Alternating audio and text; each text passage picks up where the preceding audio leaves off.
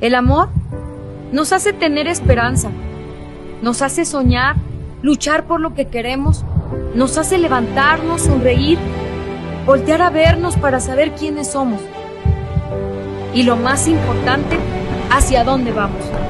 Aguascalientes es esa gente con corazón noble, bueno, que da la mano en los momentos más necesarios. La ciudad es un corazón que vibra en abril, que en primavera florece, que en otoño pinta el cielo de colores, siempre tiene los brazos abiertos, un saludo para recibir a todos. Hemos compartido diferentes momentos, pero nunca volteamos hacia atrás. Nos hemos tomado de la mano, nos hemos mirado a los ojos. Y juntos logramos cosas inimaginables, consolidamos sueños, metas, escribimos nuestra historia en las páginas de nuestra ciudad.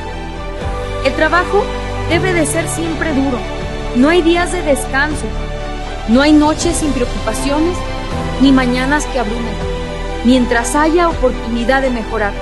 Escúchame bien, ahí estaré. Aún nos queda camino por recorrer, como sociedad, como personas, como ciudadanos. Nos queda esa página en blanco que está destinada a ser marcada por nuestros buenos actos, las buenas acciones y los momentos imborrables, pero sobre todo está destinada a ser la que nos inspire en momentos importantes.